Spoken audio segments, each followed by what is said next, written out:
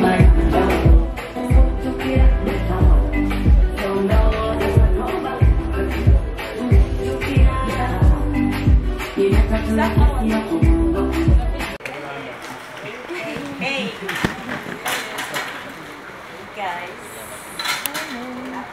kyetuyita music nayo nalwo lulimi so record in any country language in any regional language. It could be basoga it could be gwe recordinga mu lulimi lwo osobola okubeera omusoga osobola okubeera omuganda osobola okubeera omusaamya naye nga olina eddoboozi eddungi. Bwekwata essimu yo oba tolina essimu saba ku ya mukwano gwo.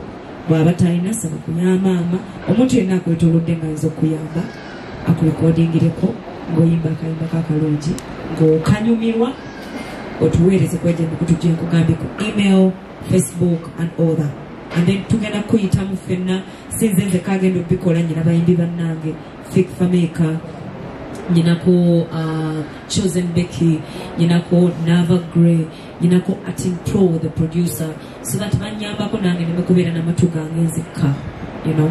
So omukisa guguno gukwate nga yebagamba omukisa wegujja gukwate odduke nagwo. So grab it run with it. Gezesa tomanya Eki- ekirooto kino kyatandika ddi ate n'ekirala ku bantu abali wabweru wa kampala abalyagadde okwegatta ku kama music bakole batya um, ekirooto kino kyatandika emyaka giyiseeko olw'ebintu byempiseemu ng'omuyimbi natandika okulowooza nkoze ntya okuprotectinga omuyimbi kubanga byempiseemu nze mbimanyi buli muyimbi byayitamu yabimanyi kati nze noonyeza engeri yonna gyesobola okuprotectinga omuyimbi we uganda nsigirina neŋŋamba okugjako okuyingira mu bizinesi ey'obuyimbi.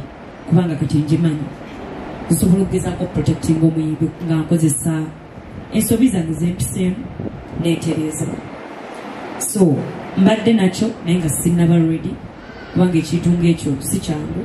Wetaaga sente wetaaga bakiyita bata experience mu luganda. Wetaaga obumanyirivu obumala.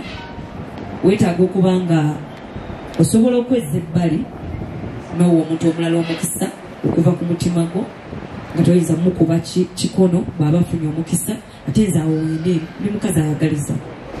Njagaliza nnyo mukiraba nokiraba nina mukyala munange gwegenda okuzza ku stage. Nze njagaliza.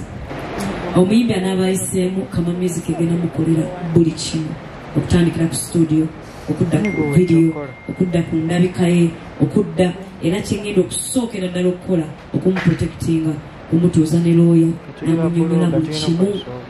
honestly speaking nkimanyi nti up country mbawa waliwo akuba soroti wali akuba but let's be honest abantu abainspiringa ensi yonna n'abainspiringa bali mu mbarara bava mu kampala. Wabeerawo city nga yetwala ensi kyobola bagiyita the capital city of the country. So nze njagala kukozesa abayimbi abantu olwedi bebagambye nti oyo olaba ne rage wakabye embalala of course if rage came on the panel agenda kunondera omuntu owaki owakabi naye ku luno nabadde njagala kutandikira muki mu kibuga. Kubanga ne rage yali inspired by an artist from kampala